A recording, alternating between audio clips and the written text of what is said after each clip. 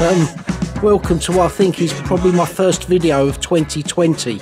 Um, it's Wednesday, May the 6th, and I would ordinarily have had a couple of trips in France and had a trip arranged for a couple of weeks' time in at Rainbow. And uh, obviously, as we all know, the world's in turmoil, and whilst fishing is the least of our priorities, um, yeah, it's been challenging times for everyone. I think we're in our seventh week of lockdown. Um, I did some sort of video diary um, to capture this in between, uh, you know, trips that were scheduled uh, for France and even in the UK. Uh, but looking back on that, I think uh, I think that's uh, that's been discussed, and it almost looked like I was starting to labour it, giving my own sort of synopsis, for uh, for want of a better word, of how COVID and so forth was affecting me. So I decided not to include that in this footage. You know, I think by the time people see this, they'll have had enough, and we'll probably still be in some sort of lockdown. But anyway, just for a couple of minutes, I just want to go through a couple of things because I've I've got an interesting day today, going down to see Kenny Gates at Asylum Baits that I visited before. Was speaking to Ken last week and thought, you know what, get down there, keep the social distancing, which is easy to do between the two of us. Um, and that's not been so easy when you've been shopping. Let me tell you that. That you know, so-called, uh, you know. And I had a colleague of mine on a flight that was full, um, and a long way from uh, social distancing. But anyway, that apart, we're going down to see Ken just to do some video footage, get me out of the house, um, and you know combine it with some work I've got to do this morning. So to rewind slightly, I had a few trips scheduled for France. They're not happening, and as I say, you know that is what it is, and there's a lot more you know other priorities going on in the world. Um, and in going down to talk with Ken, I was talking about bait with Ken last week, and I'm in the process of getting my archive videos that go back to well one of them in particular 87 uh, but the others largely starting from 93 1993 and when I've been watching those back if there's one thing that I've probably done wrong in many ways is use so many different rigs so many different baits I, and that's really apparent when I play these videos back, which you know, um, hopefully you'll get to see uh, as the year progresses. Um, and I've known anglers that you know have probably only used one or two baits for donkey's years. Um, I've never been like that, and I don't know whether that's in order to keep me excited. I just like doing things. And it's been to my detriment, or sometimes it's been to my benefit. But you know, for example, in the last you know couple of years, I've used four or five different baits. You know, I've used, you know, Eric's bait uh, that Dave makes for him. I use Dave's bait. Um, um, yeah, as I say, who produces it for uh, Eric amongst other companies. I've used Pete Regan's bait, his meat bait, a good effect on my syndicate last year. I've used Mainline Cell when I was at Fillet it's a good effect. Um, you know, as well as oh, others, you know, proper job pop ups as part of my snowman rig. Um, and, you know, the list goes on. So, what I'm trying to say is everyone's different and there's so many good baits out there you know there's 20 30 40 firms i really don't know from small enterprises like ken's right up to you know what i imagine is a big uh, you know set up for the likes of mainline. So anyway all that said i'm going to go down and see ken today. We're going to catch up with ken and see what he's been up to at asylum uh, since i last went down there. So anyway bear with me and as I say, I'm ad libbing as I normally do. There's a lot going on right now, but yeah, I'll just capture it as time evolves. Yeah, so like I was saying earlier, I'm down at Ken's now doing our bit in terms of you know keeping the social distance, which is important. But you know, not least of all, just getting out of the house a bit, combining it with a bit of work, and stopping myself going uh, stir crazy. Not least of all, some of you guys on my case.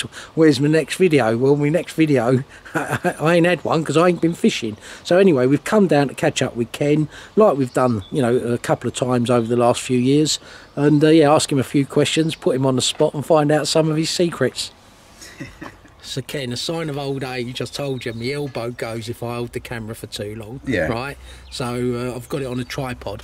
But anyway, um, yeah, early May. Weird old world out there right now, Ken, isn't it? It is, Yeah, uh, I touched on it earlier. Isn't it a strange place?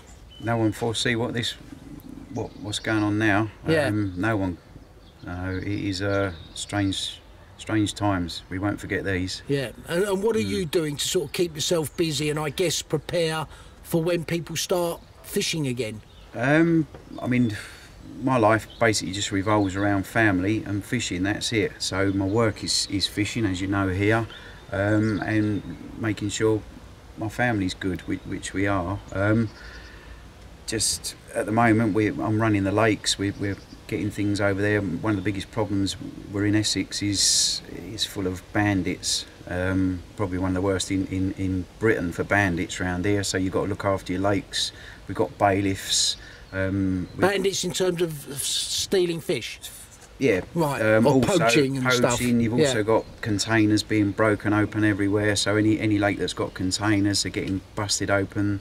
Anything that can be lifted and stolen anywhere, farms, anything is happening, and especially in this neck of the woods because you we're, we're right in the thick of it. So um, we're having to be on top of that. I'm, I'm doing nighttime patrols. Um, we've got people fishing the lake, so we, we're managing to do a bit of bait.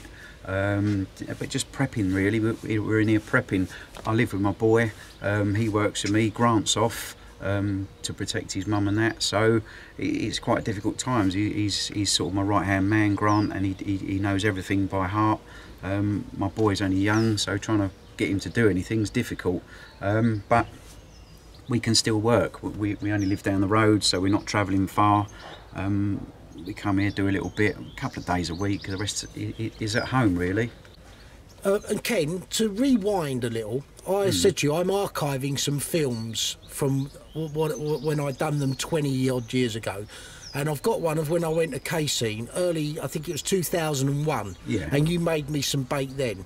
Uh, and you was making bait for a few of the boys back in those days. That's it. Yeah, How long yeah. you now had Asylum? Uh, this is our, we've been going four years on this one. Yeah, so we've actually gone full pelt into it.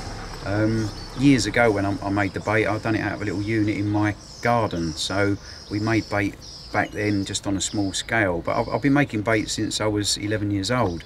So it's just been a main passion of mine. Um, everyone's got a hobby. I just I'm obsessed with bait. Always have been. Um, some of our older generation friends are totally obsessed with bait. Burnsy, etc. etc. Oh, guys older than me then. Yeah, Right, yeah, yeah, that's, that's, good it, to know. Yeah, yeah, yeah, the old boys. Um, some people Yeah. just built in them. So Yeah. you, you just everyone's got their own little thing what they do. Um, I like fishing and bait. That's it. Um, I've always had the ethos that the better bait you've got, the better your results. Fish have nutritional recognition, um, which is well documented in. It's not just oh, fat bloke down a pub said they, they know what they're eating.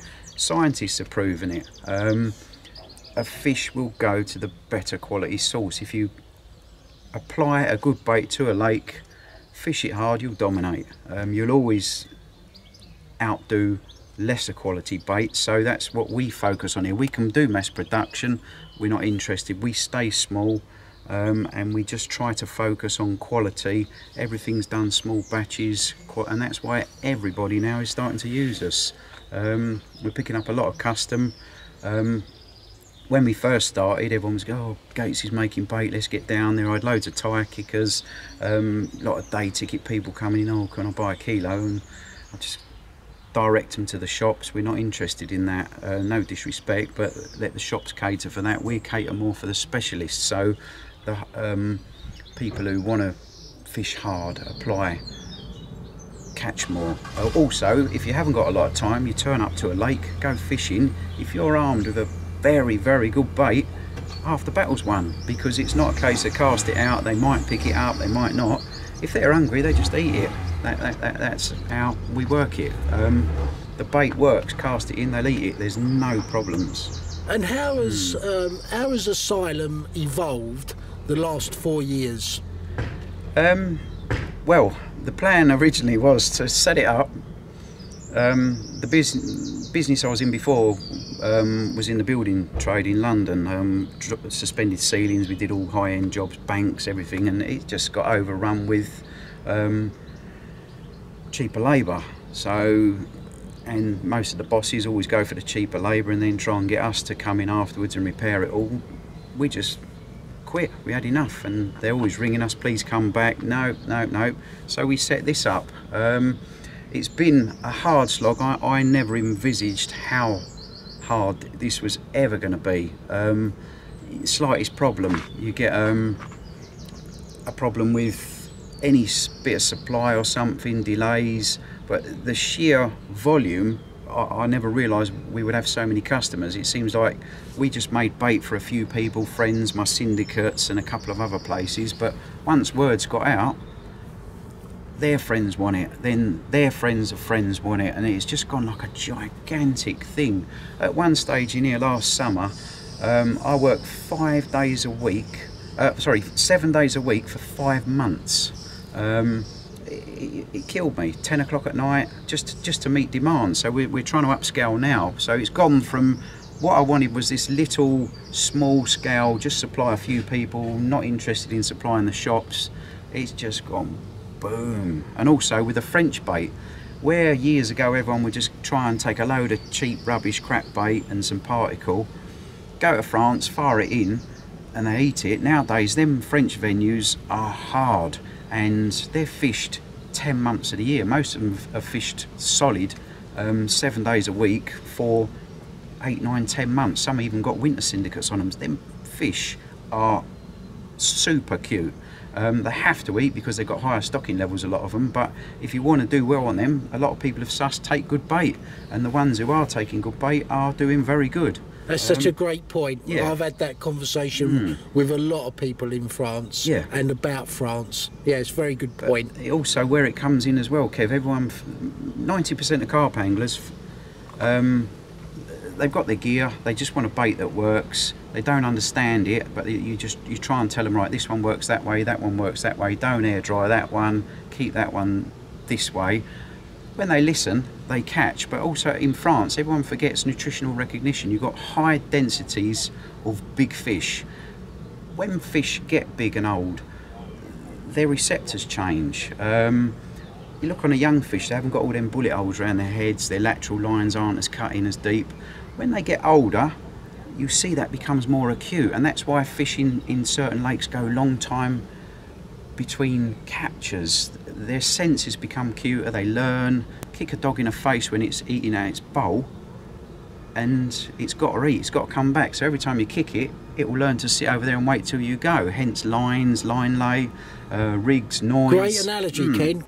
So, Great analogy. Yeah, that dog will work out to wait till you go, and then it will come and eat. And that's what's happening on lakes. The fish wait, and once you've got your rigs and lines in, in they come, clear up, go. Um, so you've you- you've got to think all the time. And, a, a, good angler, if you're if you're a ver- if you're a very good angler, you've got a little bit of time. You don't need mega amounts of time, but time is the main thing. Um, we all work, yourself, me, um, everyone. Everyone's got to work to pay for it all. Take a good bait, away you go. Yeah, great point, Hmm. Ken. Very good points. Do you know what? I didn't capture that. You should put it on. yeah, no, just to rewind, Ken said he was being a bit nervous in that. Why was you nervous in that corner? Kev, I'm stuck here between some bars. When I was a kid, I spent most of my time in Romford Police Station because I was a little hoodlum. So standing here in these Yeah. bars, All being right, let's grilled, get out in the open air, the light shining off, off your windscreen, it's, uh, it's taking me, giving me traumatic experience here. Kev. Well, let's go inside and look at some bait. Oh, mate. Going back to what you said out there, Kev, someone dropped this in the other day and I, I couldn't remember doing it, but then I remember me and Colin Davison done it um, when I caught that big fish out Summerlees that everyone wanted. And uh, this is 2001, and what you was saying about when we used to make bait years ago. Um, there's an article, I forgot all about it, and uh, Kenny Gates Unplugged, and uh, it's got all the photos in here. There's my old work unit. Yeah, there So you are. I Yeah, used to go, lane, yeah, yeah. we used to make the bait many, many, many, moons ago. Look at you there. And when was that? 2001. 2001, right, yeah. Yeah. Yeah. No, I remember you making the bait for a few of us back then, Ken. That's it, And that's yeah. what I was saying. That was the year I, I went back to Cassien and you made me the bait, yeah. Yeah. Yeah. I make a better bait now though, much better. Yeah. But we, funnily enough, Ken, you say that, and just before we go actually into the back there, um, come a little bit closer so we can see it because you're photogenic.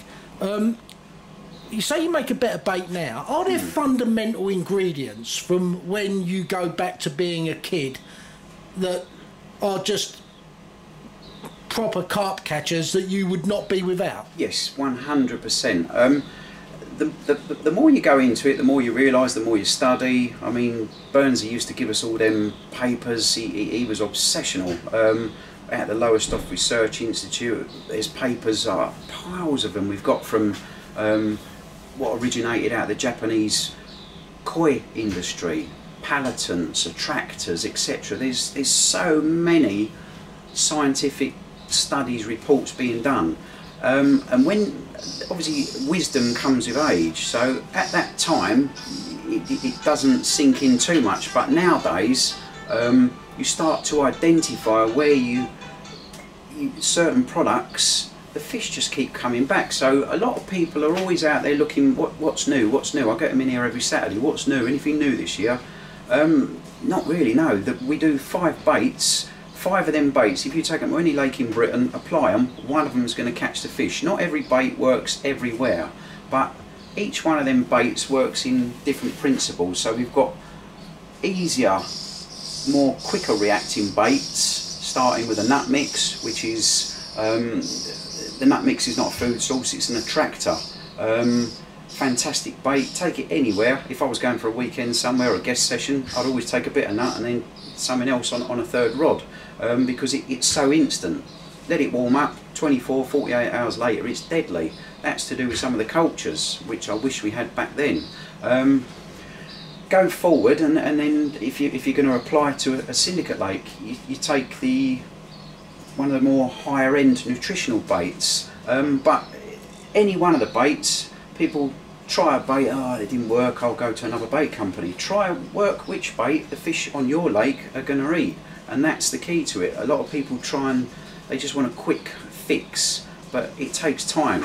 Uh, down the road here there's a little reservoir, Dunton. All the, all the fellas there start off fishing what they do, and they all end up here because our marine dominates it. And the red spice, the nut doesn't work down there for some reason, which it should. Why? I don't know. It's pH, whatever. Um, certain ingredients work in certain places, but also, um, like you was getting back saying to certain things, anyone can make a boilie. Make a good boilie. Um, and knowing how it works and whatnot, we speak to nutritionists, we speak to animal feed people, certain things complement. Um, if you're going to make a fish meal, um, you shouldn't be making a fish meal unless you've got some really good pre-digested in there because that sets the whole process off. So if you're just using just basic fish meals, yes, it'll work. But if you want it to work quicker, better to get that process going, you feed it with certain products. Um, you can set the reac- reaction off quicker. Um, pre-digested fish meal is the be-all and end-all of a fish meal bait, in my opinion, um, because it's got less less ash content. Most of the cheaper fish meals are all heat dried, so you've got that's where you've got to go into LTs. They're more more palatable. So when you speak to the feed people who, who make all the animal feeds, the higher end you go with palatability, digestibility, and solubility, is better bait. Um, but also, it's more money. So most people out there, businessmen, that doesn't equate. So you've got to make a bait as cheap as you can to maximise your money. But our ethos here is, I'll make a bait and if it works, we use it. Some of them are, are very expensive to make. We don't make a lot of profit, um, and it's not a brilliant way to operate a business, but the amount of people that just keep coming back through that door, so long as we tick by, we get a good living out of it. Fair play. Yeah, yeah, yeah, points well made, Ken. Mm.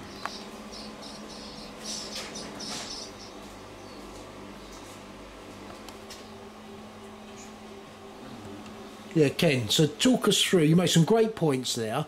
Talk us through your baits that you do now, because I think there's a couple. Last time, since I was here last time, you've introduced one or two baits. Is that fair to say? Yeah, yeah, we're, we're always playing with things and uh, just, I mean, uh, a lot of our stuff has been about for years. Some of it we've been using going back to the old days, beef liver powder. Um, there's an example, any kind of crustacean meal, shrimp meal.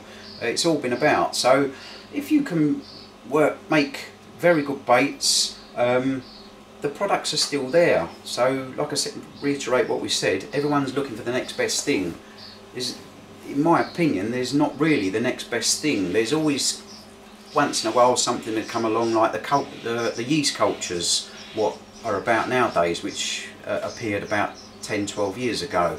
Um, they're to help cows break down and digest carbohydrates. So that's uh, a thing that was missing back then. A lot of the fish meals have become more specialised, so you can get some really good high-end fish meals. There's better quality where the global demand for protein, so that they've now, back 20 years ago, we didn't have it. Nowadays, it was if you wanted proteins, it was a little bit of rough fish meal or milks because milks was what the first thing they looked into in the 40s, 50s, 60s. Nowadays, they're looking at all kinds of vegetable proteins. So nowadays you can buy some tremendous vegetable based proteins. Um, starting off with the basic soya proteins. Um, everybody uses soya flour because it's as cheap as hell, but there's different grades. You can buy good end soya flour, 36 quid for 25 kilos. There's other companies doing it for like 12 pound and things like that.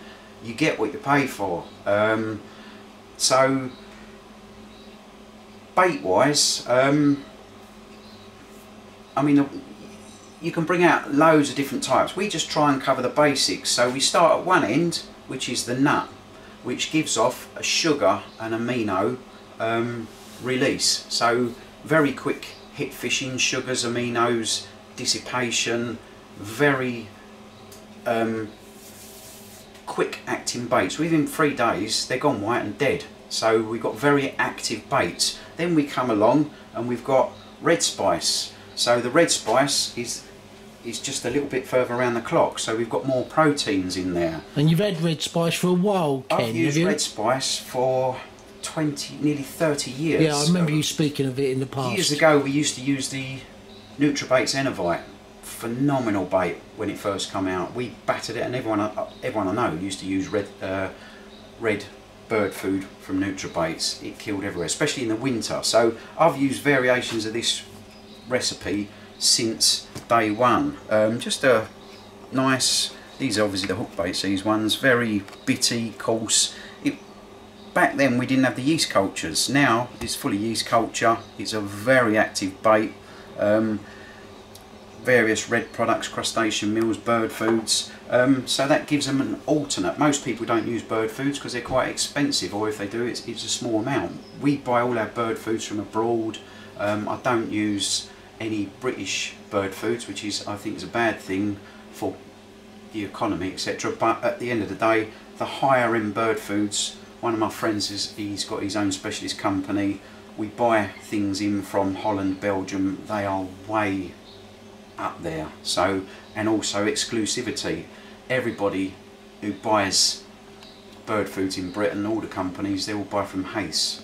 That's it, or a bit of CEDE. That's it. So we're looking, always looking for something better. So in the bird food market, I think we've managed to corner some extremely good, high-end um, products, parrot foods, etc. Phenomenal, Kev. Yeah, Ken's just got off to get some ingredients, and when I start these videos with him, he's always a bit nervous how it's going to go, being so close to the camera and that. But yeah, you can see his enthusiasm just comes straight through, and uh, yeah, it's good to see. So uh, yeah, we're going to have a cup of tea now, and uh, yeah, then reconvene. what we're always trying to do is look for better quality products than a little edge over everyone else. And you've been about, Kev, since day one carp fishing. I remember you down the wheel, bowling down with your flares on and that. Um, we all used to. It was a good community. They weren't day one. Day one was the 50s, Ken. That's we're it, we're yeah. talking early 80s. yeah, yeah, see, yeah, when you was at your peak. Um, so, in them days, the Essex carp scene was very, very good. Um, you had people like starting bait companies like uh, Martin Koval, SBS. Kempy. Uh, Kempy, we used to go around Jeff Kemp's Yeah. garage and buy it off Yeah. in Athelston Road. And not least of all the Kent boys. I think the That's it, Essex and- and, Kent yeah, boys, you Essex know, and Kent. we all knew each other. Yeah. Yeah. And then there was a little scene up at um, up north with um, Bill Cottam and all them. Um, but Essex and Kent was definitely the hotbed of where a lot of it all started. You had Hutchinson and that, uh, Nashy a bit. Um, so round this area, London, more people, big concentration of good thinkers, and it was always to try and get the better, the better bait, the better bait, always out caught. You've been about, you know the bird foods. Um, you won't have seen anything like this. Um, these things, Kev. Get a smell of it. Um, high-end smell it, parrot yeah. foods. Smell that. You ever smell anything like that? Yeah, no, I haven't. No. No. And So what is that smell then? Uh, it's Is that like a parrots. yeah? Okay. Uh, What's that? A in parrot food? This is a high-end parrot food. Right. Um, quite expensive. We grind it up, put it in the bait. You can put it in like that. It will look fantastic. All the bits in it, but you want it to be more porous. So um, grind 500 bits into 5,000 bits. You get a better release. It works better. Um, you've got another one here. This one is, is the best one. Very expensive, full of crustaceans. If you smell that, you'll see it. Um, there's no product in Britain like it.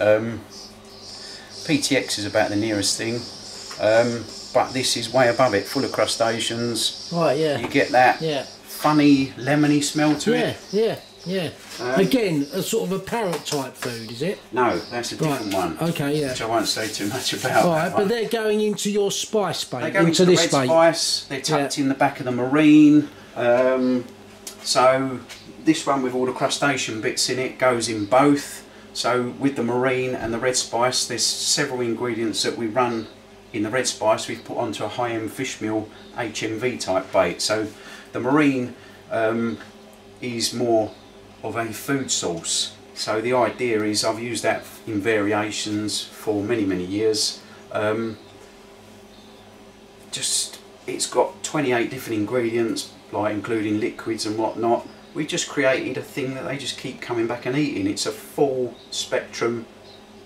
Everything is catered for what they want. Fire it out they eat it and they keep coming back through the winter spring summer autumn winter.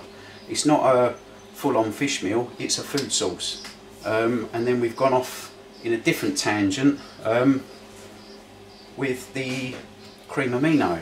So what we've tried to do with the cream amino is to make a more vegetable and milk protein based, easy digestible, parrot foods, etc. Um, some clever little bits tucked in the back, um, and make a vegetable based HNV food. Um, Right, okay. Yeah, so Ken was coming on to then the other baits. Yeah. So, yeah, take us through that. Yeah, I So- mean the marine is like I just said, it, it's it's it's an HNV type principle thing. It's not a full fish meal. Break it open, got a beautiful subtle smell. Bust one open, Kev, have a smell of it. Yeah, Um, I'm familiar with this bait, yeah, Ken. You've monster had this crab. a while now, haven't you? Yeah, shellfish Sense Appeal, alisalar. Yeah. It's the base mix that catches them. Loads of pre-digested fish meal, crustacean meals, various five different bird foods tucked in the This back is what uh, Bill done very well with on Rainbow, wasn't it? Bill absolutely smashed Rainbow as, Yeah, as I was there. quite a few many others have done. Yeah. Um, in fact, there was a fella this year just before Christmas, and he hasn't really told anyone. He obliterated it. Um, you probably know him, and uh, What on the marine? yeah, when he Right. told me what he caught, I nearly fell over. Um, one of the biggest catches I've ever seen in carp fishing history. Um, on Rainbow, two weeks, destroyed it. But I'll keep Bill's list here. Um, absolutely phenomenal. Uh, he had one double. Go on, so look that, yeah. Hold on, so Read it. yeah, I'll hold it up to It's- the camera. Yeah, it was a couple of years back when he was Yeah. in 16, was he? I think. That's it. Yeah. Yeah. Absolutely. Uh, Bill was a prime example. Bill, he, he always uh, love him to death. Um, Bill always um, tries to maximise his money.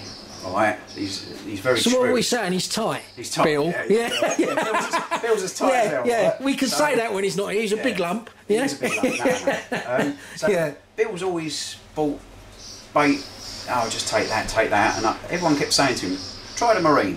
Oh, sod that! I'm not, I'm not paying that. So I said to him, "Bill, give the marine a go." And he went out there with, I think him and Darren. Darren talked him into it. I think they bought 60 kilos, and uh, it's the best money he's ever spent. He, he, he had the fish of a lifetime, numerous of them. And he's a good angler. And he's yeah, a good angler. We're only winding him up Yeah, yeah, yeah. They're only winding you up, Bill, because you're a big lump. Yeah. Um, Yeah. So, but it just proves rainbow. Um, it, it- they, people go there, they put a hell of a lot of bait in, a lot of particle, a lot of cheaper end baits. He went there with a food source and obliterated it because big fish go to that signal, uh, and that's how we what what our ethos is here. And to digress slightly before we come back to boilies, Ken, we'll talk about ground bait. Yeah. Right? Because we touched on that last time I was here. Yeah. Yeah, so the subject of ground bait, Hmm. Ken, tell us your rationale regarding that and the liquid attractors that you you know go with it and so Right. forth. Ground bait, everyone makes ground bait, it's been about since day one. The idea of ground bait, most like people's idea, is chuck a load of cheap things, a load of breadcrumb, stick a few smelly bits in some dye, um, fire it in and attract, attract match fishing type thing. Ground baits for carp.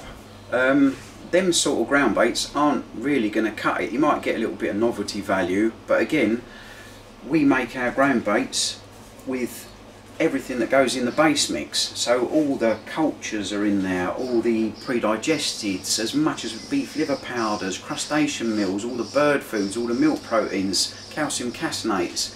They're in our ground baits. They're 20 quid for five kilos. Slightly dearer than most people's, but when you mix that up, crush a few boilies up, put it out, um, even stick mixes, people have been using them stick mixes. Um, active, fully active, giving off the correct messages. Um, when you knock up this nut ground bait, because of what's in it and the additives that go in, you get bees in your swim like you've never seen. People go, oh, bees, oh, I've never seen so many bees go to it. It's giving off such a good signal. It's attracting wildlife, it attracts carp, which is good. Um, so we just try to think better. Um, with the liquids, we've got products in there. You add the liquids in. There's certain little things in there that feed. They activate the products. So um, you mix that with lake water. I can sell you a fi- uh, 500 ml bottle for a tenner. That's all you need. That mix it with lake water. That is all you need So you're not bulking it out no, with liquid no. ingredient. So we sell that for, for, for that comes in with it, or if you want to buy it separate, it's all human grade. Just eat it. It's phenomenal. But the bits in here feed what's in there that make it active. So when you go fishing with a ground bait, you've got an active bait. Same with the red spice. The marine again works on a different principle. It's got all the soluble fish meals in it. So when you, I could put cheap ones in there. They're not. They're not going to dissolve. You want the soluble to create that reaction. Um, add a bit of that in it, which is hydrolyzed fish protein plus five other things. Um, phenomenal, smelly bit of rubbish. You don't need to put any more than that in. Put more in. There's no point. Would you say anglers are largely missing a trick not using ground bait? a lot of the fellas that come in here, um, you say to them about ground bait, when you go to France, put a bit of ground bait out, carpet feed, they will feed the roach. You'll get the roach in, but then the carp will come in and push them out. So keep trickling ground bait. A few of them do it, they fish Island Lake and all that. They batter them. They'd only take two or three bags, that's it. Um, a lot of anglers miss a trick. For the last few years, I use ground bait, I use 20 mil boilies in it, 10 mils, I mix everything in chops. I use a double 20 mil hook bait over the top in a bag with that. Um, I've never caught so many big fish just getting that little package in there. Um, few of our anglers who, who come in here, Jamie, he swears by ground bait. He, he done exceptionally well on Spellbrook in the middle of summer. Red Spice. Um, he just said, put boilies out in the edge, red hot, fish. Look at them, they just don't want to eat. He went, wrap a ball of ground bait, drop it in there, it's gone in 10 minutes. So it's a massive, massive edge. Um, if they haven't seen it, use it to your advantage. Match fishing, um, ground bait. Um, maggots, sometimes in the summer they work, sometimes they don't, but definitely the ground bait packages are a very big edge. Yeah, Uh, and you, you made that point last time I was here because you was developing the ground baits even more back then, Yeah. and the liquids and stuff. That's yeah? it. Yeah, we're, Yeah. We're, we're, I think with these four ground baits, we're as far as we can go. We're just playing with the new bait, which is the R1, um, which is going back to an old principle. Um, very special bait, and the ground bait, we're still playing with that one, but the bait is done. Two years worth of work, a lot of trials and playing and field testing by some good people, and thank you very much to them. Um, just, just another. Well, I'll have a Right, wee yeah. and a cup of tea, Yeah. and then we'll look at that R1 that that takes you back. Then, So, yeah, you, yeah, back, okay. also forward because the R1 is um, a traditional style fish meal, but we've got a few modern things in it which are very, very good feed stimulators out of the. All right, we'll have a look at that then. so- All right, so we'll have a break, Ken, Yeah. and then we'll reconvene. Yeah. No problem. All right, buddy.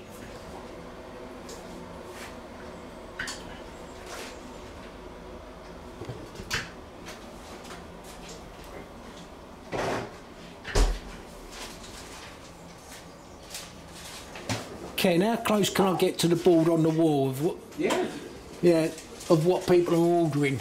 I already see a couple of mates on there that don't tell me anything, so I've now clocked Hmm. that. But um, yeah, there's your orders that are going out. Yeah, I mean, we people we supply. Rob Fielding. Um, I mean, when he was younger, he worked with um, Shaggy and all the boys down at Darren Valley Baits. Uh, very good little angler.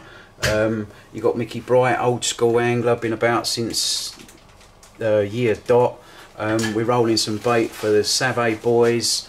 Um, they're getting prepped up now, ready for. He ain't got much of a clue, that one, has he? Yeah, yeah. um, so these Save boys, they're, I mean, they're just prepping a bit now in case fishing gets released soon and they're on Save. Then they've got a little bit of bait in the freezer. Yeah. Um, yeah. Normally in the season, this board is full and we just cannot cope. Um, I've got books full of orders.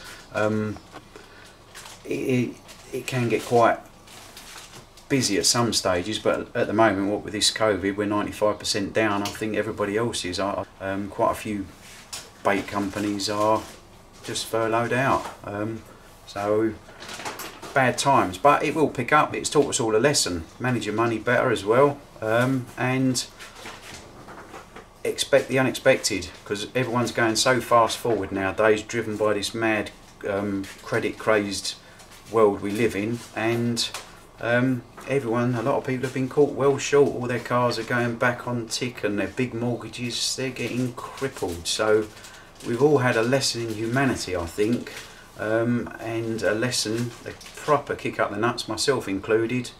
Always keep a spare bit for a rainy day.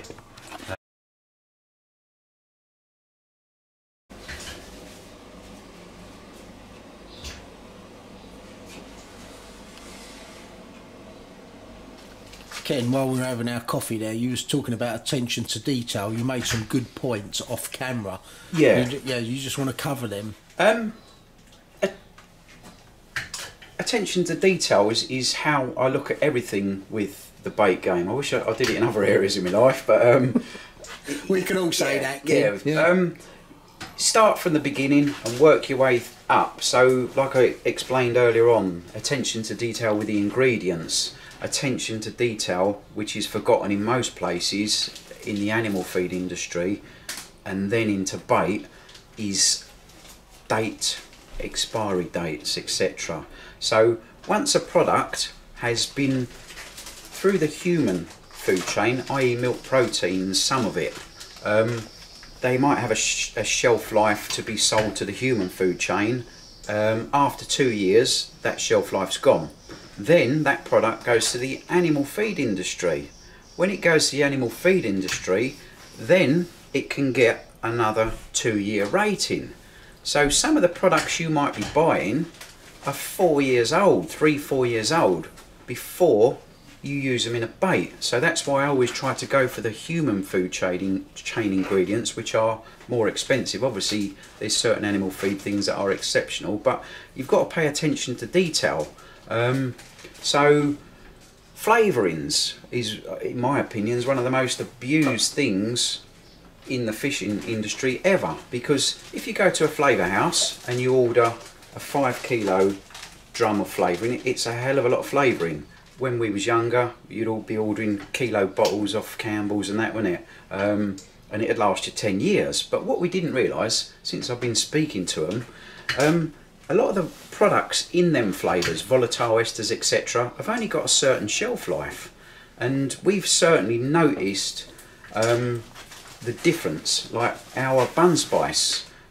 Our bun spice goes in actual hot cross buns and that. It's that particular one um, there's a very good one and that is it um, all kinds of bun spices out there um, when you get it on the side of your bottle is a label used by um, expiry six months so a lot of companies go out there and they buy great big drums of it and it will sit in the corner of your factory for six months a year two years some of them run them down take them five years to run it down because they've saved three or four hundred quid but that product in my knowledge of what I've learnt from these experts in the food industry, that product's dead. So it smells like bun spice or it smells like whatever it is. But by the time you're using that product, which you've bought off a shelf, that's been sitting in a fishing place, um, fishing factory, manufacturing factory, um, tongue tied. Um, that product could be two or three years old. It's lost all the little bits that you want that will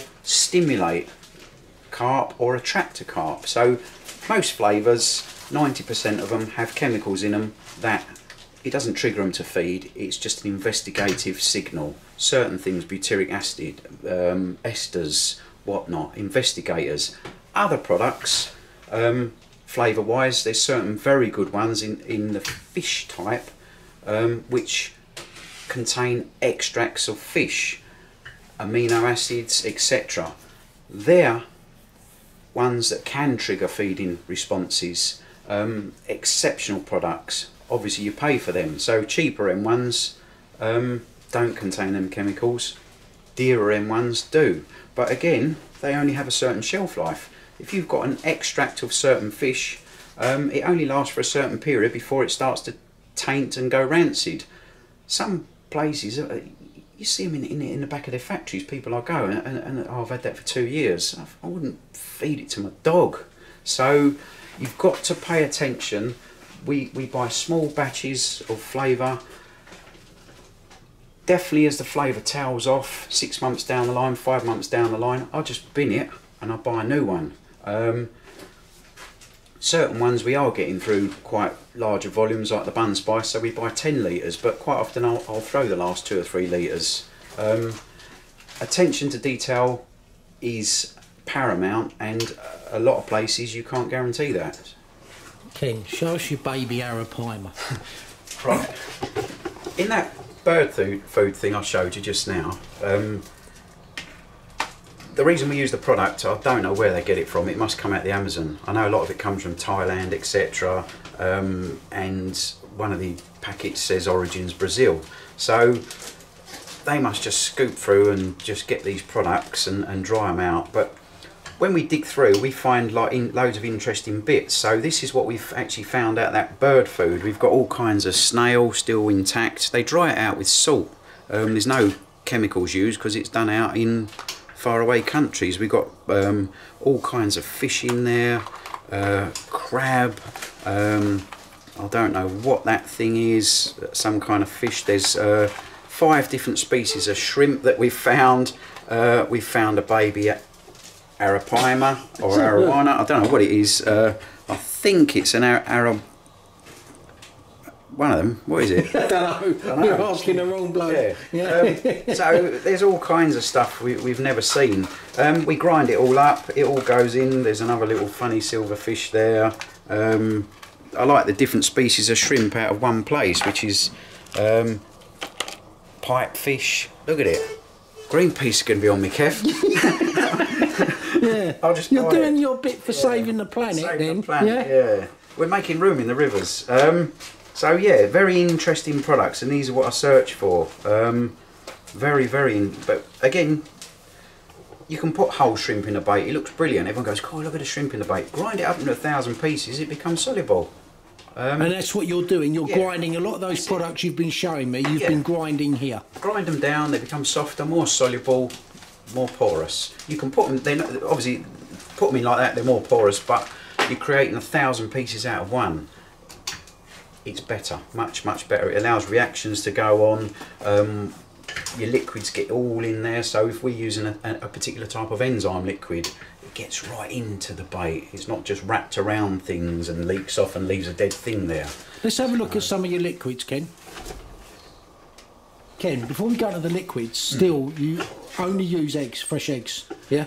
Yeah, um, this is one of the reasons I don't. I say about uh, we don't really want to get big and go in the shops. We want to be able to do and stick with what we're doing. Now, egg um, is the fundamental binder of all boilies. There's cheaper end products out there which people are using. Um, it's quite shocking. that People are just using bags of wheat gluten and mixing it up. When you get very big, the bigger end of the companies, you have to use either liquid preserved or powder preserved. They're good products, but they're not what I consider to be the best. The best is the egg itself. Um, it's a free-form product. It's full of amino acids. It's full of everything. Um, crack that egg open, knock it up into a fish meal bait with all the correct fish meals. Add in a few of your what you call catalysts, which is your fish extract enzyme products, etc. The egg is the bacteria. The other products haven't got any bacteria because they're sterile, they're pasteurised, aren't they? So um, basically sterilised. You mix them up with water and they work okay. But with an egg, if you want a fish meal to work, crack that egg and it works instantly. The bacteria, it contains its own bacteria. It's been not heat treated, there's no problem. That then works, feeds the bacteria, feeds the enzyme liquid um, and the extracts. Then, if you've got beef liver powders, etc., in there, which are even finer proteins, that starts the process pr- uh, process off, which is like you want it to basically rot. Um, you want it to attack itself, chew itself, release, release, release aminos. Um, so once you can get that process going, which is done by fresh eggs, you crack an egg open, you wouldn't eat that six hours later. You want to eat that egg instantly because it's full of bacteria. Um, so the egg, in my opinion, I remember years ago reading on the internet, oh, the problem's the egg, blah blah blah. Correct, fresh eggs. We deal with a farm up the road. He supplies all the catering industry round here, restaurants, um, everything. His eggs are the best I can find. I can get cheaper eggs, which you can buy from the wholesalers who take everybody's leftover eggs and they auction them, and it, you can buy them a lot cheaper. I can get them forty percent cheaper. Will not do it. I use the best egg I can find. Um, I could buy eggs for twenty three pound a box. Um, I won't use them because I use them, which are forty two quid a box. Um, they work better. The other ones are right at their end of their sell by date. They've been sitting on farms. They can't shift them. You might have a week's worth of life left in them at the most. Um, they've been sitting there for two weeks. Um, attention to detail. I'd rather pay the money and get the product. We we pick them up. They're still warm, Kev. They're laid at five o'clock, four o'clock in the morning. We pick them up at seven. They're warm. We crack them, make the bait. It works. Um, another box ticked. Yeah, going to say, Ken. There is a, a, another point about eggs as well. When you, when you use as many, I mean, we're using up to four or five thousand a week at some stages. Um, various types of eggs from various other places. You try them, they're no good. I used to try uh, cheaper eggs in my feed bait from a few mates whose lakes we feed. We, we, we make them proper fish meal feed boilies and we feed the fish them just trickle feed it. You don't need to go mad and they grow. But you notice, and you talk to the egg man himself, um, Simon, what you feed your chickens is how that egg tastes. He said, so a lot of these cheaper M farms are using terrible, cheap, as low cost product as they can to feed the chickens. there's a lot of trucks coming from abroad on the continent, and they bring these eggs in and they, they saturate the market as, um, with them. They're very cheap. The egg auction people buy them and they just do them off cheap. Their shells are so soft. You crack them open. They, they they're runny. They're old. They don't smell right.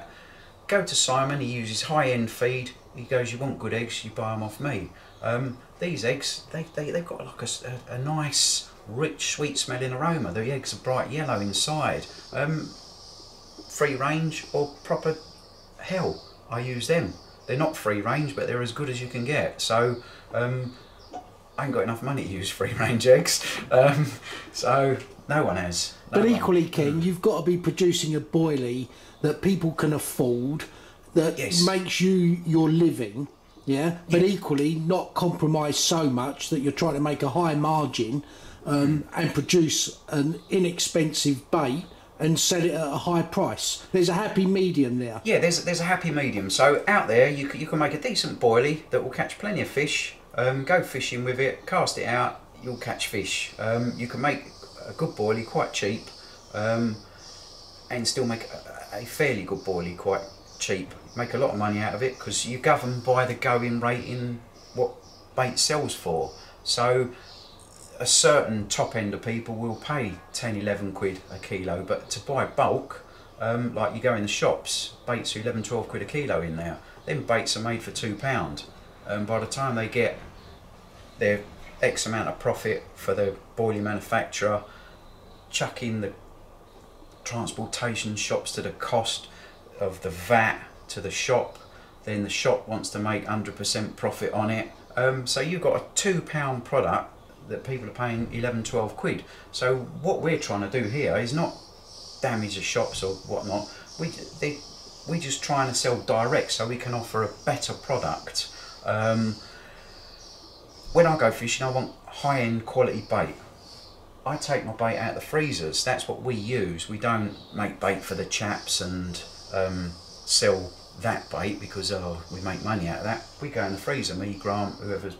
Um, we just use what's there. So I can make more expensive bait. Not going to catch you any more fish. Just going to get more money out of your pocket. I can make cheaper bait, earn more money, but I'm at happy medium. We do okay. We're not breaking finance records and never will. Um, we're trying to increase in volume now, so as we can make more of the product in less time, that way I might be able to nick a few few more quid to actually get a bit of profit. Um, because at the moment, it, it, trying to make a, a product like we're doing, it's quite a specialist market. Um, there's lots of good little companies out there, tucked out there, who sell bait in that fashion. They don't go in the shops. Um, you buy direct off them. Um, I won't go into them. But No, and to your credit, Yeah. Ken, you've always spoke highly of other bait firms Yeah. that you've mentioned off Yeah. camera. You know, we ain't got to mention them on, on camera. And I, you know, and I said at the start of this video, I've bought some very good bait off others. Mm. Yeah. I, I'm probably one of those guys that you alluded to earlier, right? I look back on my old videos. I'm forever changing rigs. I'm forever changing bait. I've been doing that forever. Yeah, and, and Yeah. sometimes it, you know.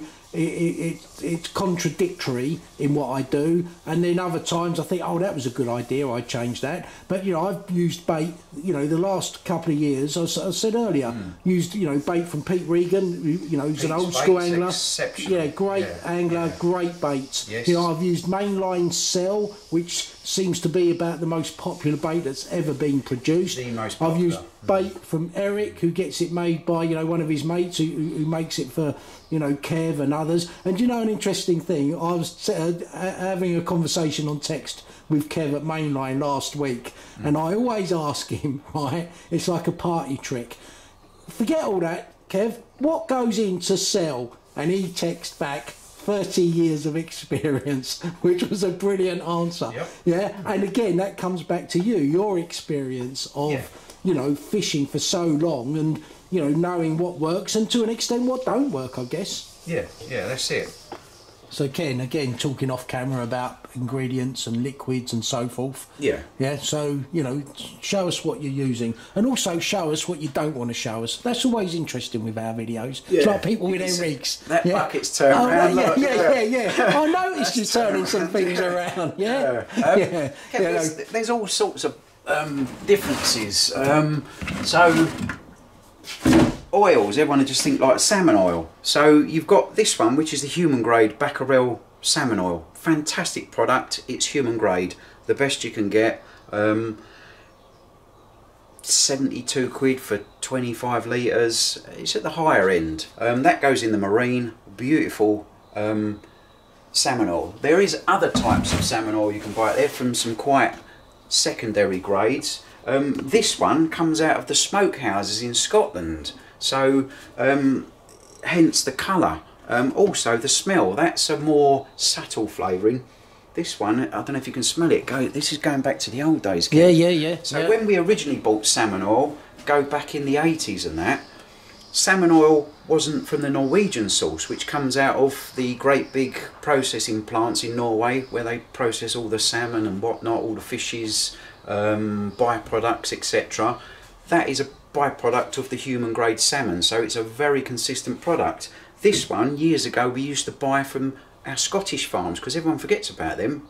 There's a big farming industry in Scotland of salmon. This one comes out of there. It's a much darker, richer product, so we use that in the marine. We use this variant in the new R1. More powerful tasting, and that's what we're going for. So we're creating a more powerful tasting fish meal.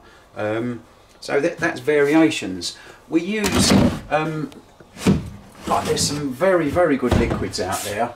Um, this liquid, um, it's an enzyme treated uh, salmon product as well. Um, very dark, quite rich smelling, stinks. Um, lovely product. You can buy it from several British uh, feed suppliers. Um, quite a lot of people use it. Uh, quite a, a lot of people use it.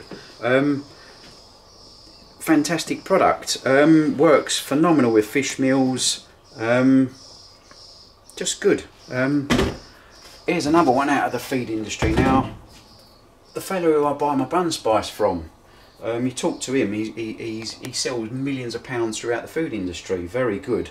Um, he makes this product, which we call it Meat Enhancer. Um, Is that the one I spoke about earlier? You showed me a couple of years back. yeah, yeasty Yeah. type product. Yeah. That's the one?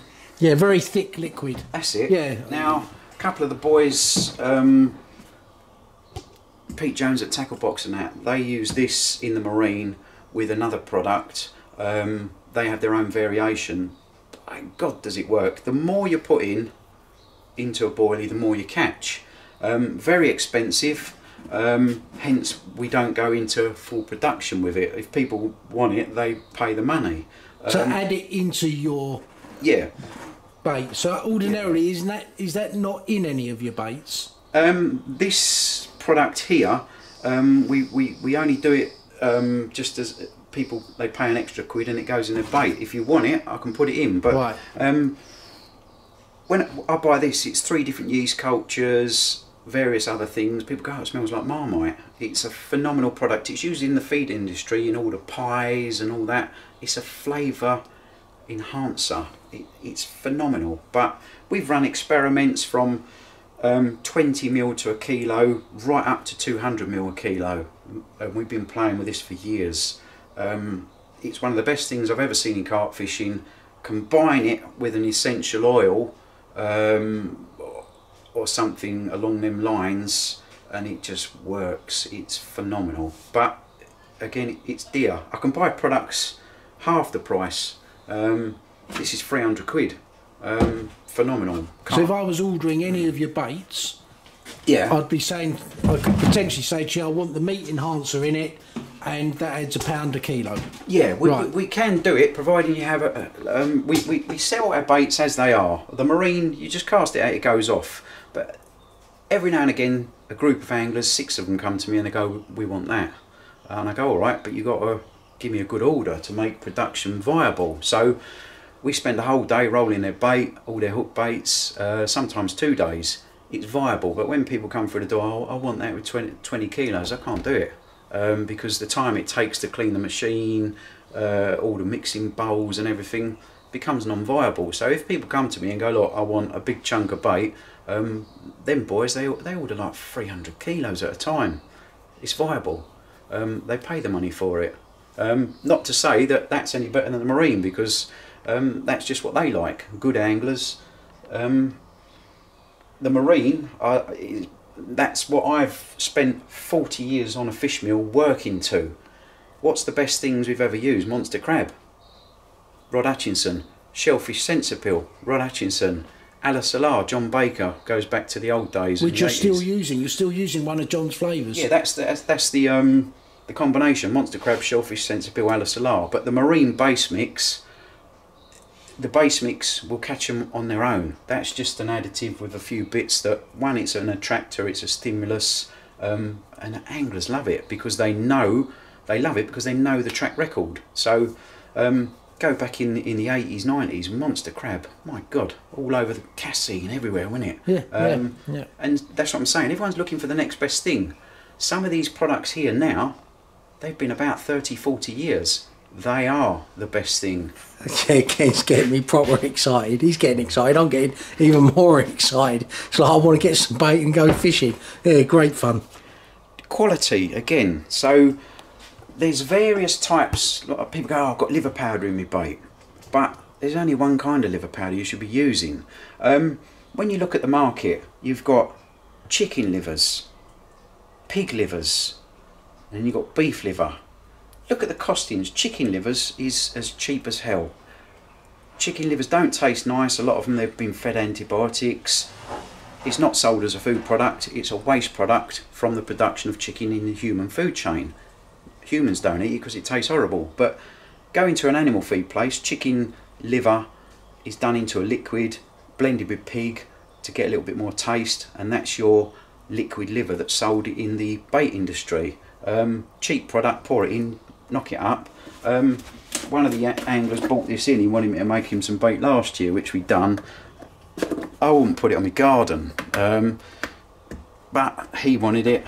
All he caught was catfish, liquid liver, not bad. Um, but when you want attention to detail, this is the the company I deal with, one of the biggest uh, importers in, in the country of food ingredients. I rang him up. I said, "What's the?" I used to buy the uh, hydrolyzed beef liver powder off him. Phenomenal product, but um, which comes back to the old days of Hachi, uh, etc. Jeff Kemp, all that. It was used in the pharmaceutical grade. I said, "Is there a better one out there?" When I was a new product, um, I went, "Get us a box." He went, "Up, don't you know the price?" I went, "Just get me a box. I can have a look. We'll trial it." Um, when it come through the post, I nearly fell over. It's the best thing I've ever seen. Phenomenal. Um, you pay the money. Um, I mean, I'm buying 20 kilos of beef liver. Um, we was paying 600 quid for 20 kilos. It, and when you look looking at liquid liver, um, there's a lot of cost saving. But I go for the better product. So um, if I can get it open, look. So this one, this is the one I, I, I was on about. I can buy much cheaper chicken beef, uh, chicken pig liver things. Not my cup of tea. I want the best in my bait. So this we put in the marine.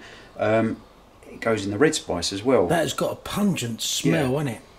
but it's so Yeah, rich. yeah, it is. and when you look at the uh, ingredient, taste profile, that's the one you should be putting in, in bait. But if you want to make lots of money, it's not the one you should be putting in bait. So, but that catches fish. Any bait, if you read, go back in the old writings of all the old people, um, Rod Hutchinson, um, if you want to catch bigger fish, they definitely go to beef liver powder. I've always followed that thing in my fishing myself from when I was a kid upwards, and I've always caught the bigger fish, always have.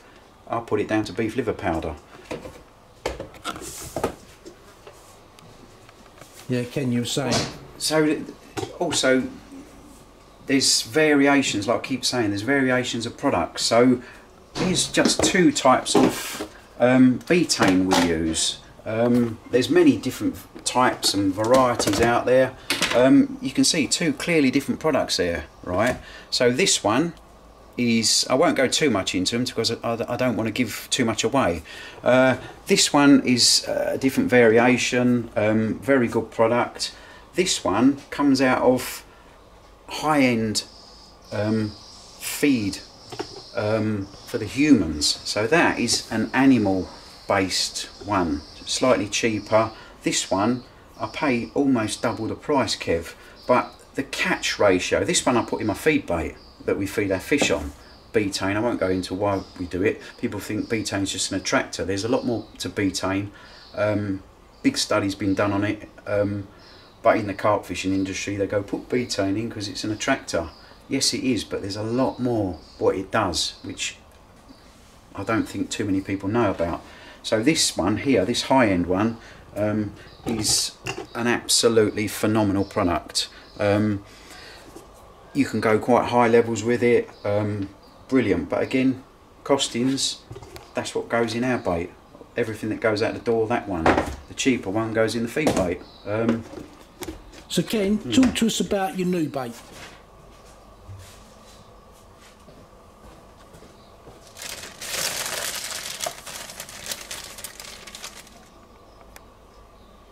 Right, so obviously four years in, we've been playing with variations of baits, but it's just marine. Everyone just goes back to marine. If it's not been used on your lake and you're one of the first on it, get a, two or three of you on it, and you'll dominate. Even one of you, just trickle it in, you'll you'll you'll, you'll match anybody with any bait. Uh, get two, three, four of you on it, domination. Um, it's a food source, high end, all the signals, correct signals, and they just go to it everyone keeps saying, "Oh, you've got to do a different variation." So we've now Why would they down. ask you to do a different variation if it's that successful? everybody wants something different. So we've got our fishy end, but a lot of people in the old days and now as well. Look at Mike Wilmot, shellfish B5, phenomenal Yeah, bait. I've seen that. Just how Absolutely good that's phenomenal been. bait. Yeah. Um, there's a couple of exceptional fish meals out there with a fruity flavouring. Um, so a lot of people keep saying to me, "Oh, well, do us a, a fruity type one, a fruity type fish meal." Um, so what we've done, you've got your marine easy, high digestible food source, 18V principle fish meal, but we wanted a hardcore, proper, like we used in the old days, five different fish meals, a little bit of milk, some binders, a couple of other little additives, and just full on hardcore summer use. Um, so we've gone that way. Marine you can use in the winter. This one, although the boys who've been playing with it have done very well um, through the winter, they've matched all the other baits with it during testing. Um, in the summer, this comes into its own. So apply this. Um, two different LTs, squid meals. Um, there's a very interesting amino product in there, which I won't go into. Um, that Give us a little clue about um, it, there's a couple of liquids. Um, in the Asian food market, um, they grow a massive amount of tilapia. They grow massive amounts of um, shrimp. They grow massive amounts of prawns. They crabs. Everything. It's a big market. Now in Asia, they haven't got the capabilities of what we've got here with our food pellets, i.e., Coppens, Skrettings. They use cheaper end products because that that goes to feed Thailand, Cambodia, every Vietnam. So they have to use products that are cheap. They've got to make them palatable. Um, so they add certain things to them. So you can buy these products that you add to lesser food grade products, and it gives them certain things what they need. Um, it makes the food more palatable, and they're, they're very good feed enhancers. Yeah, so you're saying, Ken, Yeah, so these the, these products is liquid um, and powder, crystalline form. Uh, phenomenal products. They are you. They, they they've come out in like they're developed by a Western company, but sold over that side. But now they're coming over this side of the world. Phenomenal feed inducing products, amino acid based. Brilliant. I think someone said that the, the, the companies that do it they're, they're valued at two billion pound. Um, big companies. Um, so we've incorporated them. Uh, there's a liquid one. The liquid one is part of the basis that goes into the original shellfish Sense Appeal. Phenomenal product. Took me 30 years to find it, what it was, where you get it, how you get it. Um, so their ingredients, uh, powder and liquid, that liquid one goes into every bait, even the nut mix, we put it in there. The catch rates went up 20 30%. Phenomenal products. Um, done on fermented fish. Um, a type, part of the ingredient that goes into it is fermented fish. Can we Hmm. look at it? No. Okay. I had to ask because people would expect me to ask. Yeah, yeah, yeah. Right. Okay. Um, I won't show them two pro- products. Um, Yeah. You got to keep something under under your sleeve. yeah. No, I felt Yeah. compelled to ask, but I fully respect the answer, So, Ken. when you go back into the uh, late 80s, early 90s, and look at what was catching, um, who caught what, it was a little group of anglers. Um, Durham Valley Baits, um, Shaggy, Perry Moncure, Nicky Daniels, all them boys. Um, just absolute mad on carp fishing, um, out and out rebels, fished everywhere. Everywhere they went, they caught a hell of a lot of fish. Um, and it was skunk. They called it the skunk bait. Um, basic fish meal, skunk oil. You put it in the bait, they just ate it. Been forgotten about. The reason being one of it is finding the correct type of skunk. I've studied right into it. There's three different types I've found. Two from India, one from the South African variant. Um, the Indian one, how they do it, it's it's a variation, but you've got to find the places that supply the correct one. Um, so this South African one is the correct one. It's triple the money, but it gives triple your catch rate.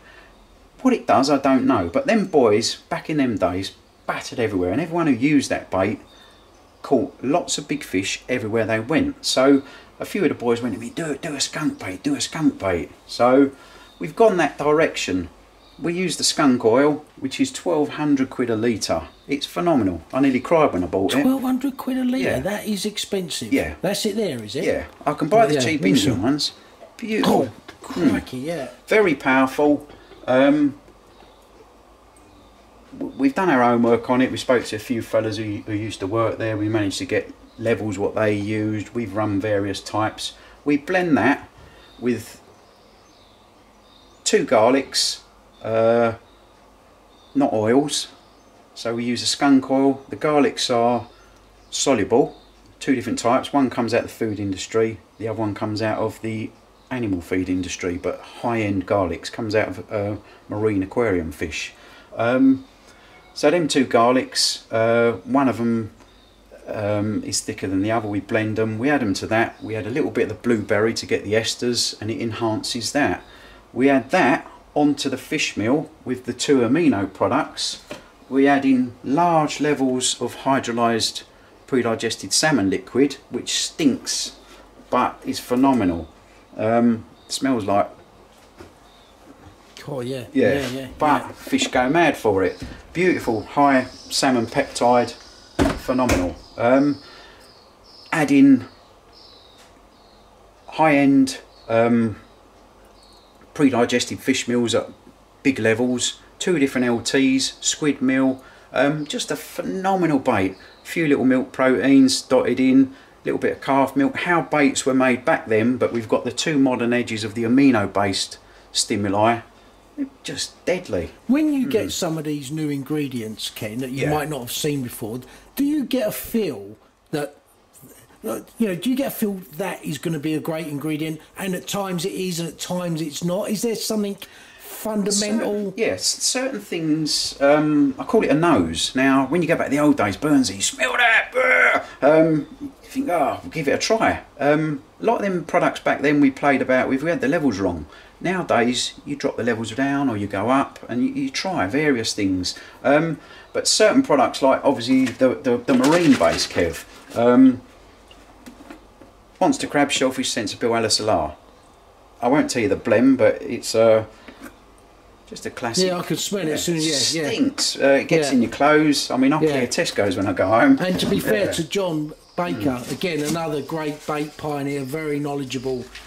Um, you know uh, his way around bait and stuff Uh, goes back donkey's years. top end, top Yeah. end bait ingredients, top end everything. John Baker's bait. Um, most of it is I don't know too much exactly what he does, but a lot of his products, what he actually sells individually.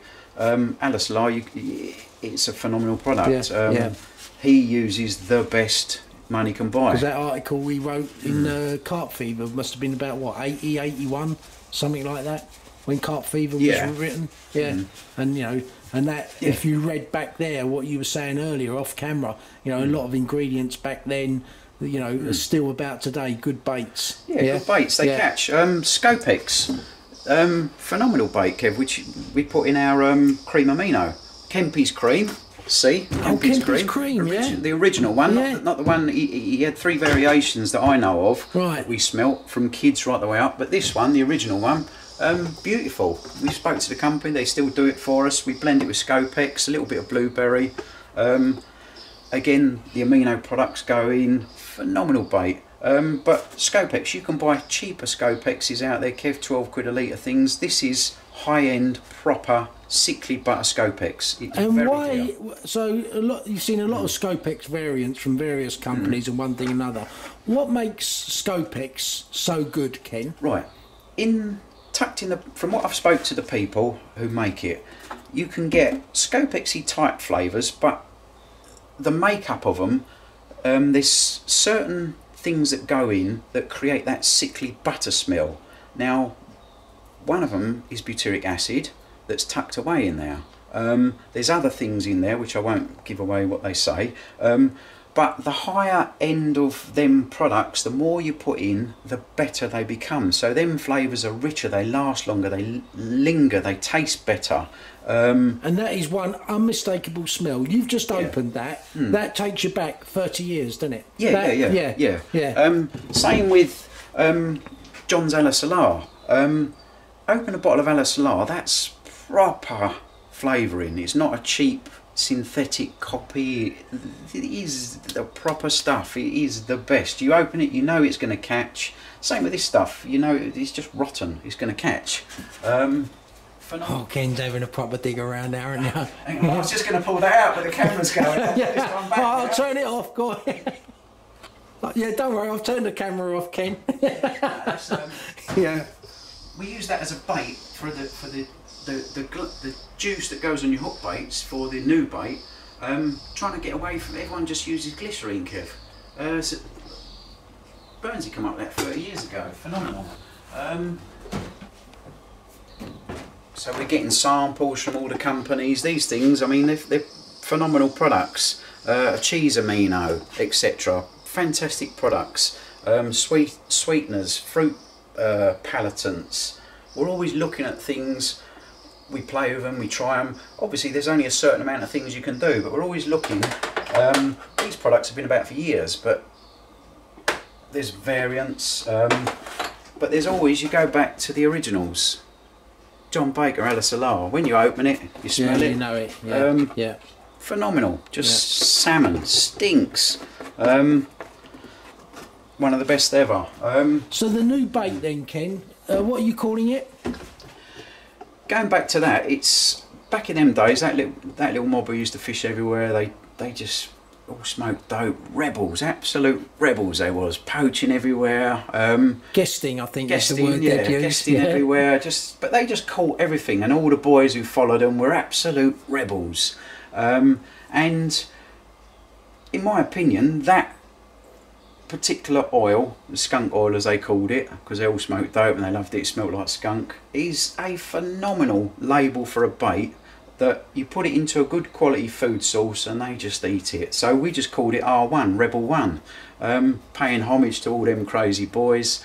Um, and just taking, as far as I'm concerned, that liquid there um, is probably not been taken to its maximum potential. So what we're trying to do is we're putting it onto a bait with a, a full package, um, proper hardcore fish meal, and taking it to where it should be, where it always should have been. So we're, that's the idea of that bait. Uh, Just to guy digress slightly, I saw some sweet corn. Sweet corn. Um, right, in the winter, one of my brilliant campaigns this winter, but it didn't come right. Um, I was going to use 12 mil cream amino um, in PVA bags with a little bit of the ground bait, cream amino ground bait, blend it up with, with, with sweet corn. Um, carp eat sweet corn. Um, so that was the plan. PVA bags, cream amino, ground bait to dry sweet corn, just the package they eat. Um, bait, if you want to catch carp, flick out a bit of corn, they'll eat it. Um, phenomenal, phenomenal product. But again, with sweet corn, you can buy the frozen corn, you can buy certain things. Um, always look on the sweet corn cans and look for salt and sugar content because that's the key to it.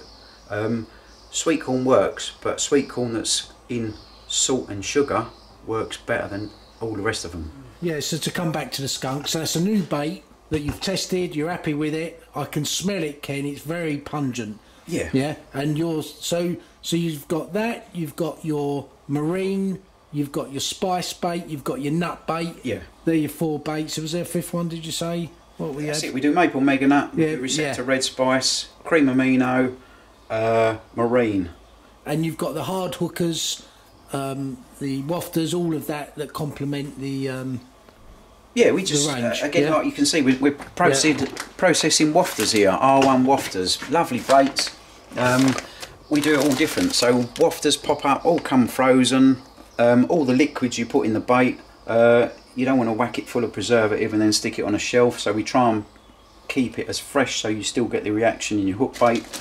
Not to say that you're not going to you cast out a pop up uh, off the shelf. Um, they all work, but most I think the definitely the pop-up market nowadays has absolutely lost a plot, Kev, um, because most of them you buy neutral. They all come in all the colours and all the sizes. They're neutral, and then the companies just get them, pour a bit of flavour in, add a bit of liquid, shake it up, let it draw in for a day or two, and then someone bags them up, and that's your pop-up. There's no ingredients in there what's in the base mix in all my pop-ups marine it's full of everything um, it's took us years to get them right um, there's Carophyll, there's beef liver powder you name it is in there pre-digested fish meals are in your pop-ups i've had to do so much work to get that pop-up to keep its shape to hold and not lay down we it's took us years to work um, I remember you having challenges with yeah, that years ago, Ken. Yeah, Yeah. Um, yeah. People have given me advice over the years to help me. uh, Um, Jeff and Paul down at Active, um, mines of information. That he's been in the game. I've known Jeff for many, many years. I buy a lot of products through Jeff because of his buying power. Um, enzyme liquid, I can buy that off British Aquafeed. Um, 130 quid. I, I buy it off Jeff downside cheaper. Um, so it's buying power. That's why, like you was mentioning earlier, me and Evesy, uh, Steve Eves, another local bait. Again, another great angler who's been into bait and Yeah. rigs That's it. more than most I've ever known. Yeah, We, we help each other. Um, Yeah. There's certain products you, you can only get minimum orders on. Um, you can buy them from wholesalers who sell them, but the cost is phenomenal. So me and Steve, we club together on certain bits. We buy them and um, we save money. We, we help each other that way, and, and a couple of other little local bait firms. Um, we will help each other out, um, etc. etc. We scratch their back, they scratch ours. So what Hmm. for, what of the future, Ken, uh, for Asylum? Um, right. This COVID's taught me a big lesson. Um, there's still some bait people out there who are doing fairly well, um, good sales because they've got online shops. I'm not very computer literate. Uh, my last laptop was smashed to pieces. Um, so I make a It's good not like you lose your temper, No, no, unusual, isn't it? Yeah. um, I have managed to control that recently, but uh, I lack in that department. People have been helping me. I've got people going to set up a little Facebook page for us. I've never bothered. I'm not on it. I don't really care. But for business, um, you're one of them who keeps saying to me, Facebook, Facebook, Facebook. I don't give a monkeys about it. People come to me, but I need to increase the business a bit more to make things pay better. So um, we are going to do a little bit of Facebook so people can see exactly what's being caught because the only person who hears about what's caught is me. And the, some of the catches, Kev, are phenomenal. No one hears about them. Um, so if people want to see how, what what's being caught on the baits, it will be there up on Facebook. It's not it's not off sponsored anglers. It's not. We don't do that. Full stop. If you come through the door, you pay bait. You buy bait. Um, everybody buys bait. There's none of that because I, I, I despise it. Any man who walks through that door, who pays their money, same as everybody else, they want a good product, they want to go fishing. If they want to publicise their fish, crack on with it. I don't care. I'm not interested. But we're just going to do a little thing just so people can see catches. A few of them want to do it, so I'll just let them crack on with it. I'm not even going to be involved. I will have to go on it to keep an eye and make sure they're not all fighting and that. But also the online shop. Um, there's a lot of people around there who can't come to the unit. Uh, they ring up. I go, oh yeah, I'll send bait. If they want to do it, we'll set that up next year. Um, this COVID thing. Um, businesses are shut, you can't get about, but the couriers are still going, so there's a lesson for everyone. Get that up to scratch. Um, at least you can keep your business going. But it, it, it's another um, easier way to shift bait. Um, Yeah. Couriers, isn't it? It- It's doing it right as well. Um, we send ours out in a cardboard box inside poly boxes. Most places just throw it, get it out the freezer, chuck it in a box, cardboard box, tape it up, out it goes. Forget about the product. It, you got their money. Um, that could sit in the back of a van for X amount of time before it's taken to the depot. Then it's chucked about, goes in another wherever it goes up to another. It could be in 80 degrees in the back of that van. Some of them vans get 100 degrees. We pack it in poly boxes so you're getting the product bang on how it should be. When it gets to you 18 hours later, 12 hours later, it's still frozen how it should be. Um, Yeah, good point. Very Yeah, good point. um, yeah, yeah. poly boxes. Um, it, it's a it's a tiny extra costing, but people don't want to pay it. But those who come here want the quality, so they pay it. Five quid for a poly box for for 20 kilos of boilies in it. Best money ever. Well, Ken, Hmm. I've got to say, when we were talking earlier, it'd be nice. There's other priorities going on in the world right now, Hmm. but it will be nice, you know, to bring this video to a conclusion that we're all fishing in the not too distant future, trying to get back to some normality, whatever normality might be.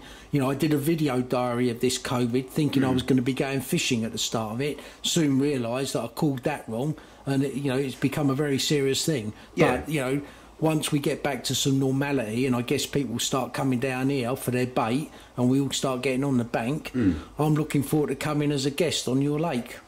Yeah. I'll take you up on that. I've, I've invited myself many times. Hey, you're more than yeah, welcome. but yeah, but Ken, that uh, that has been so informative, and you know I'll overlay your contact details, and as you say, you'll be doing social media in time.